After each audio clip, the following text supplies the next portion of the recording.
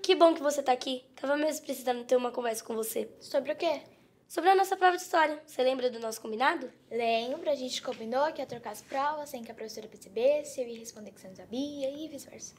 Exato. E me diz, a sua nota foi boa? Nossa, muito, nosso plano foi um sucesso. Uhum. Só se foi pra você, né? Não entendi. Você conseguiu errar toda a minha parte da Segunda Guerra. Eu tirei dois na prova. Nossa, coitada, eu sinto muito por você. Agora você sente, né? Você poderia ter pelo menos se esforçado pra tirar uma nota boa. Você disse que sabia.